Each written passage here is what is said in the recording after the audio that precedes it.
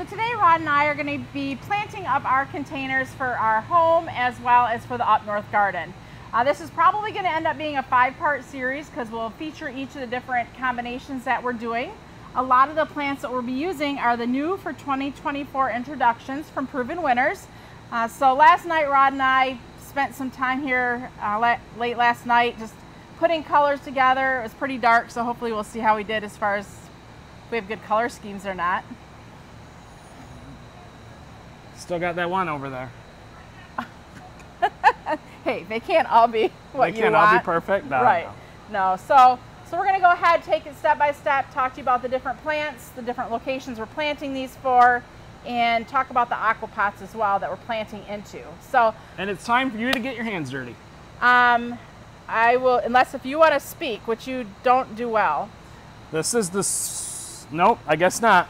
So, so we'll go ahead, let you get your hands dirty. I'll talk about the plants, and yeah, we'll we'll show you what we got that we'll be doing here today, creating masterpieces. There you go. All right, let's dig in. All right, so the first thing we're going to be planting up here is this giant aquapot. This one is one of two that we'll have matching, and that's going to go on either side of our garage. Uh, every year, this is kind of always the pot that I put the new introductions in. That way I can watch them every day as I pull in the driveway. I can see how the plants are doing. So we're going to start off with our thriller, which actually is just a palm tree, uh, a cat palm. Looks like it's going to be a two-person job here. Remember, I said you're going to get dirty. I don't have a problem getting dirty. Oh. Wow, that's quite a root system. So this is a cat palm. Uh, the light situation is highlight. Likes to be watered when the soil gets dry. Medium growth, growth rate, so it's not going to get that tall, which we really don't anticipate it to get tall. So it's pretty root bound, so Rod's going to go ahead and just kind of chop up the roots a little bit there at the bottom so that it can spread its wings and fly once it gets planted. So is there a reason why you're trapping them, Rod? I mean, I want to make sure they, like you said, they start rooting out. I mean, some people will say I shouldn't do this, but I want to make sure it just continues to grow and doesn't just become root bound and not root down into the aquapot. Right. So just get some of that thick bottom roots cut and removed. If I had a knife, it would probably would be a little easier, but that'll do the trick.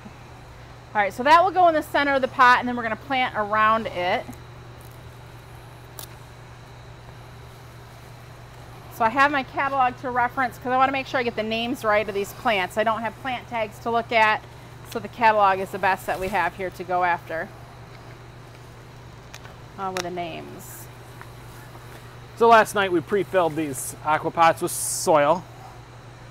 And um, now the center is planted. Now we're just going to start around the edges, right? Yeah, let's around the edges. So just kind of show the plant, and then I'll tell you the name of it.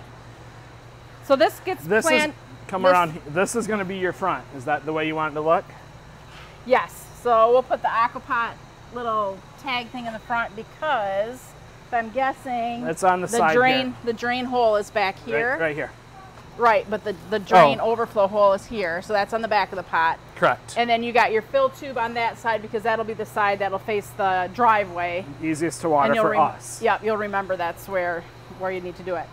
So yeah, always when you fill these aqua pots, make sure you match where the you know where the drain hole is, or uh, make sure you know where your fill tube is, because after once all these plants are growing, you're like kind of digging trying to through. find. So Yeah. that's where I put the plaque in the front, the aqua pot plaque in the front, and I'm right off to the right.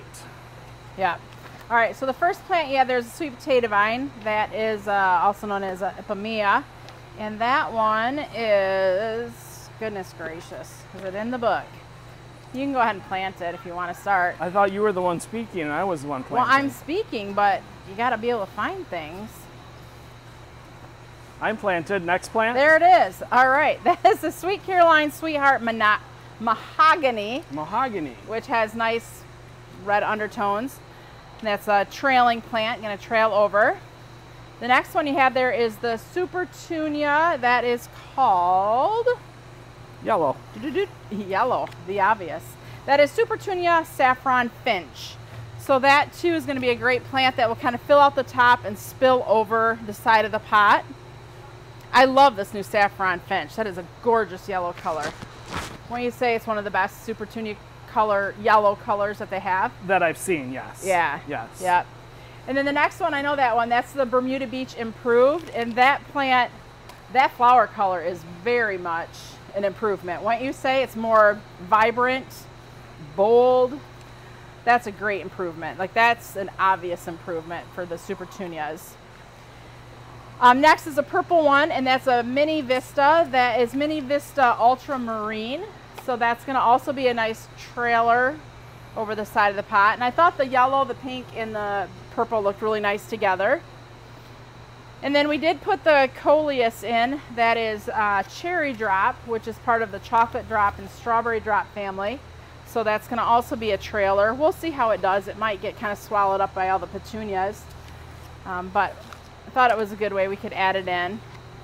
And then basically we're just gonna repeat that pattern around with the exception of the Scaevola Whirlwind White, which has been improved this year. And we'll just put that one in the back of the pot just to add a little sprinkle of white into the planter.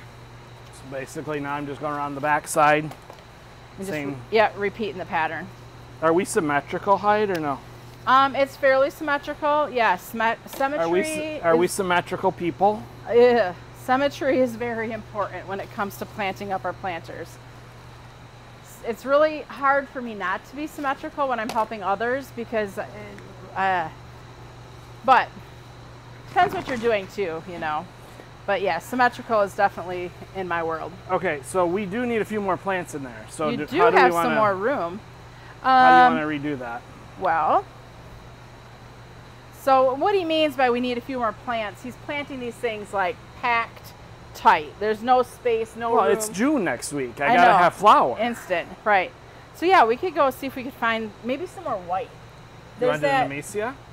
Well, you got Well, the white no, there's- that's here. yeah, right, but I think we need to add a little bit more white. There is a new white double um, Superbells. Yeah, we could are put- using it over there, but we can do that. Yeah, let's go find that Do you want white. another Scaevola? Or you're gonna have white already? Right. But the Scaevola's got very small petals, so if we do that Superbells, let's go grab one. Yeah, or I bet, Or you want to move it Here. around? Go this way. yeah, let's move that one back just a little bit that way. Because so yeah, so let's move the Super Tunies to the back because they'll be a little bit more aggressive, I think, than what the double white Superbells will be. So if we kind of, So you want to move the coleus coleus back? back. Just, yeah, move that back just a touch, and then just Yeah. put the white here. Yeah. And that kind of, it just adds a, I don't know, poke of brightness, I think, to the container as well. Okay. Yeah, so, so that'll look good. basically, the only thing I really have to do is I'm gonna add some soil in there in a little while.